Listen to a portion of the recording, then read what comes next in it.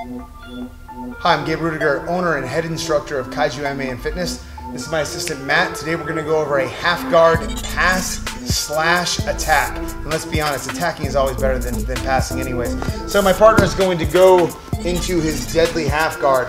No matter who you're going against, you have to be concerned about the half guard. The first thing I need to ensure that I do is not allow him to get to his shoulder. If he gets to his shoulder, then he can start moving forward with his half guard. So I'm going to take my shoulder, I'm going to go around his head, and I'm going to turn his head away.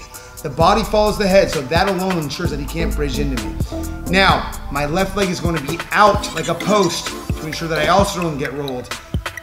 I'm gonna slide up to the knee. I'm gonna push his knee down. As I push his knee down, I pop my knee through.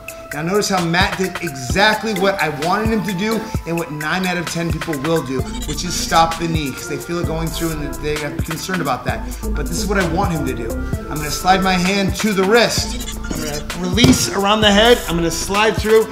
I'm gonna get the Kimura. Now, a lot of times I can just finish it right there, no problem, which is my preference. But a lot of times the guy's defending really, really well. I'm going to slide my foot through to grab the leg and then pass and then finish him there.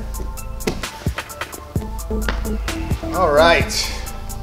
Please like and subscribe. At the outro, you will see videos. They'll be here, here, probably one there, there. There'll be some that you like, there'll be some that you don't like, but I assure you there'll be more that you like than don't.